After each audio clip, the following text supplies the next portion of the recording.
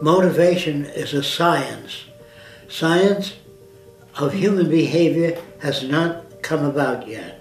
Hmm. There's very few psychologists that really know how to motivate people.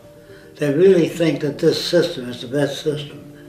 And they try to adjust people to this system. That is not a motivational system. When behavior becomes a science, then we will know how to make engineers, chemists, people with high output, whatever you want, you will know how to generate that.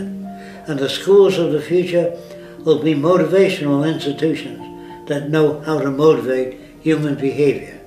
So although people have access to the necessities of life, they are still unfulfilled in questions that they want to know about. What is life?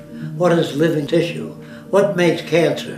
What makes heart disease? These are the things that people would concern themselves with in the future, not how, how does my new tie look? Or how do you like my new earrings?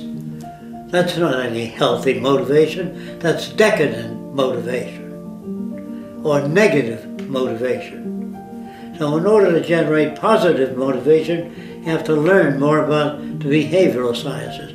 Look at our website. We have a lot of books we recommend. And if you wish to learn more about it, look up those books. Check them out of the library if you can't afford them, and read them if you want to know what moves humans. Yeah, I think being out here is a, is a